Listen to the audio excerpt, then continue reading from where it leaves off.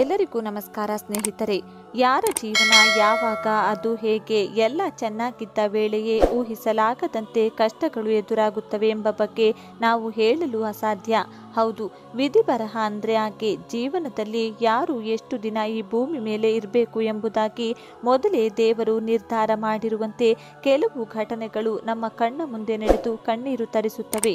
ನಟ ವಿಜಯ್ ರಾಘವೇಂದ್ರ ಅವರು ಡಿಕೆಡಿ ಕಾರ್ಯಕ್ರಮದಲ್ಲಿ ಅದೆಷ್ಟು ಸುಂದರವಾಗಿ ಸದಾ ನಗುಮುಖ ಇಟ್ಟುಕೊಂಡು ನಗು ನಗುತ್ತಾ ಎಲ್ಲರೊಟ್ಟಿಗೆ ಚೆನ್ನಾಗಿ ಮಾತನಾಡುತ್ತಾ ಸ್ನೇಹದಿಂದ ಬೆರೆಯುತ್ತಿದ್ದ ವ್ಯಕ್ತಿಯವರು ಅವರ ಜೀವನದ ಬಾಳಿನಲ್ಲಿ ಇದೀಗ ಬಿರುಗಾಳಿಯೇ ಬೀಸಿದೆ.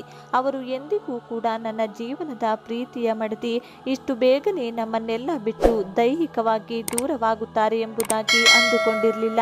ಆದರೆ ವಿಧಿ ಮುಂದೆ ಎಲ್ಲವೂ ಶೂನ್ಯ ಎಂಬಂತೆ ಇದೀಗ ಅವರ ಮಡದಿ ಸ್ಪಂದನ ಅವರು ಬಾರದ ಊರಿಗೆ ಪ್ರಯಾಣ ಬೆಳೆಸಿದ್ದಾರೆ.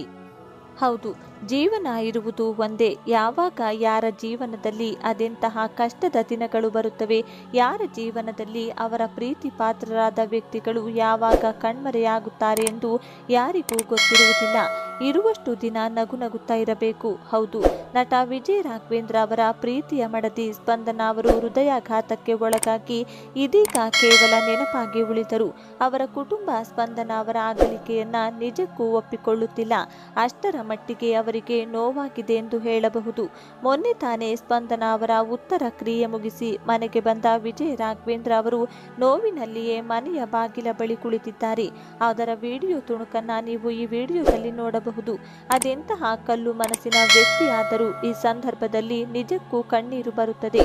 ಏನೇ ಇರಲಿ, ವಾಸ್ತವವನ್ನ ನಟ ವಿಜಯ್ ರಾಘವೇಂದ್ರ ಅವರು ಆದಷ್ಟು ಬೇಗ ಒಪ್ಪಿಕೊಂಡು ಮರಳಿ ಮೊದಲಿನಂತೆ ನಗು ನಗುತ್ತಾ ಮಗನ ಮುಖ ನೋಡಿಕೊಂಡು ಮಡದಿಯ ನೆನಪಿನಲ್ಲಿ ಜೀವನ ಸಾಗಿಸಬೇಕು. ಅವರ ಅಗಲಿಕೆಯ ನೋವನ್ನು ತಡೆದುಕೊಳ್ಳುವ ಶಕ್ತಿಯನ್ನು ಆ ದೇವರು ಇವರ ಕುಟುಂಬಕ್ಕೆ ಮತ್ತು ರಾಘು ಅವರಿಗೆ ನೀಡಲಿ ಎಂದು ನಾವು ಕೂಡ ಪ್ರಾರ್ಥಿಸೋಣ.